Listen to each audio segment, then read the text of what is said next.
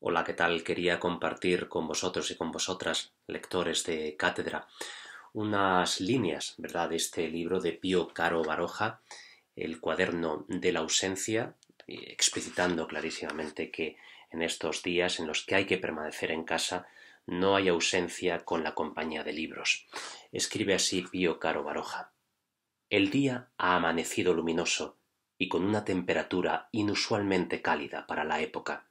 La luz horizontal del invierno rebota en los espejos y en los cristales de los grabados, dibujando sombras chinescas en las paredes de las salas, animando el interior de la casa que se va transformando tenuemente con las horas como si siguiese al reloj de sol de una de las iglesias de los pueblos vecinos del país vasco francés.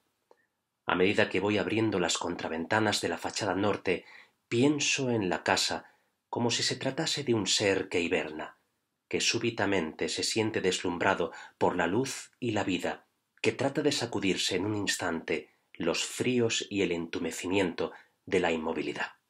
Bueno, espero que os haya gustado. Un libro para la lectura, El cuaderno de la ausencia, de Pío Caro Baroja.